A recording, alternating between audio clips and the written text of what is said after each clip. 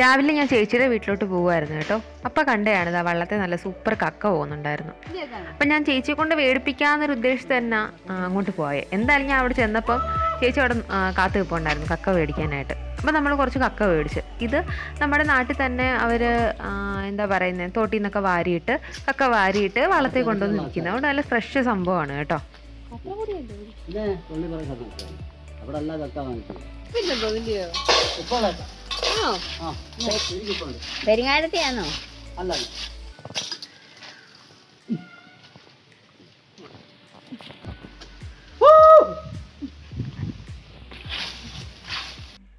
കക്ക നമ്മൾ പല രീതിയിൽ കറി വെക്കാറുണ്ട്. ഇപ്പം നമ്മൾ തോരൻ വെക്കും അതുപോലെ തന്നെ തീയൽ വെക്കും വറുത്തരച്ച കറി വെക്കും അങ്ങനെ പലതരത്തിൽ റോസ്റ്റ് വെക്കും. ഇത് നമ്മളൊരു സിമ്പിൾ കിടിലം ഫ്രൈ ആണ് കേട്ടോ. അപ്പോൾ ചെറിയ കക്കയാണ് ഇതിനെടുക്കുന്നതിൽ ഏറ്റവും ടേസ്റ്റ്. അപ്പോൾ നമുക്ക് നന്നായിട്ട് മുരിങ്ങി കിട്ടും. അപ്പോൾ നമുക്ക് കക്ക ഇച്ചിരി പറക്കിയെടുക്കൽ ഇച്ചിരി പണിവട്ട പരിപാടിയാണെങ്കിലും എന്നാൽ നമ്മൾ കഴിക്കാനാണെന്ന് ഓർക്കുമ്പോൾ എന്താണ്? ഒരു സന്തോഷമല്ലയോ അപ്പോൾ നല്ല ഇരുന്നൊന്ന് പറക്കിയെടുക്കുക.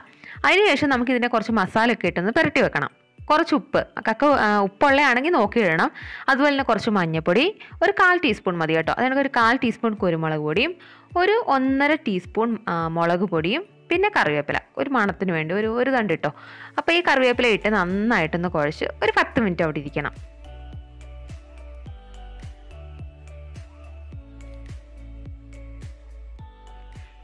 ഇനി പ്രത്യേകിച്ച് പരിപാടിയൊന്നുമില്ല. വറുത്തെടുത്താൽ മാത്രം മതി. അപ്പം നമ്മൾ രണ്ട് ടേബിൾ സ്പൂൺ എണ്ണ നമ്മുടെ പാനിലോട്ട് ഒഴിച്ച് ഒന്ന് ചൂടാകുമ്പം അതിനകത്തോട്ടൊരു ഒരു തണ്ട് കറിവേപ്പിലയും കൂടെ ഇട്ടൊന്ന് പൊട്ടിക്കണം. കടുകൊന്നും വേണ്ട. കറിവേപ്പില മാത്രം വേണം കേട്ടോ. പിന്നെ ഇടേണ്ടതെന്ന് വെച്ചാൽ നമ്മുടെ പുരട്ടി വെച്ചിരിക്കുന്ന കക്കയിട്ട് നന്നായിട്ടൊന്ന് വറുത്തെടുക്കണം. അപ്പം നമ്മൾ ഡീപ്പ് ഫ്രൈ ഒന്നും വേണ്ട. ഒരുപാട് എണ്ണ ഒഴിച്ച് മുക്കി വറുത്തെടുക്കുക അങ്ങനെ ഒന്നുമല്ല നമ്മൾ സിമ്മിലിട്ടിട്ട് നന്നായിട്ടിത് ഉരിഞ്ഞു വരണം. അതാണ് പ്രധാന പരിപാടി.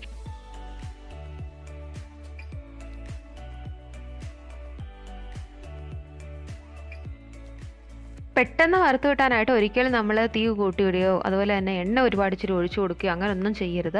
ഇതിന്റെ മെയിൻ പരിപാടി എന്ന് പറഞ്ഞാൽ ചെറിയ തീയിലിരുന്ന് കുറച്ച് എണ്ണയിൽ നന്നായിട്ടൊന്ന് വറുത്ത് കിട്ടണം.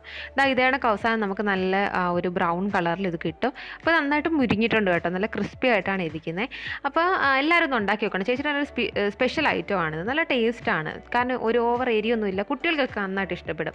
അപ്പോൾ അതിന്റെ കൂടെ ഉച്ചയ്ക്ക് എനിക്ക് കഴിക്കാൻ ചേച്ചി നല്ല കിടിലം മുളകിട്ട കരിമീൻ കറിയും ഞാൻ വെഴുക്ക് വരട്ടിയും പിന്നെ നമ്മുടെ പച്ചമുളകുണ്ടല്ലോ പച്ചമുളക് നമ്മുടെ മല- മലയാളികളുടെ മനസ്സിലിരിക്കുന്ന ഒരു സംഭവമല്ലേ? അപ്പോൾ ഇഞ്ചിയും പച്ചമുളകും ഒക്കെ ഇട്ട് ഒന്ന് മിക്സി കറക്കിയെടുത്ത് നല്ല കിടിലം പച്ചമുളകും ഒക്കെ ഉണ്ടായിരുന്നു. അങ്ങനെയാണെങ്കിൽ നമ്മുടെ വീഡിയോസ് കണ്ട് ഇഷ്ടപ്പെടുകയാണെങ്കിൽ നമ്മുടെ ചാനൽ അടുപ്പ് അടുക്കളയെന്ന് സബ്സ്ക്രൈബ് ചെയ്തേക്കണേ.